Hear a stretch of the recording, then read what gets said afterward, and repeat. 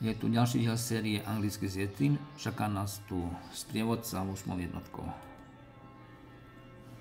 Naučíme sa tu vyjadriť čas a budeme hovoriť o lietaní. When is the soccer game? Kedy je futbalový zápas? The game starts at 7 o'clock. Zápas začína o 7 hodine. Are you free on Tuesday? Máš voľno v útorok? I am busy on Tuesday and Wednesday. V útorok a stredu som zaneprázdnený. My appointment is today at 9 o'clock. Moja schôdzka je dnes o 9.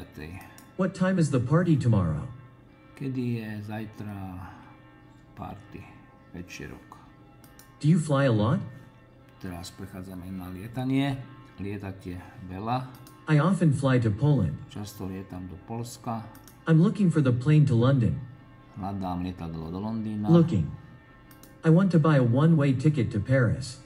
Chcem kúpiť jednosmernú letenku do Paríža. Is our flight really canceled? Je náš let naozaj zrušený?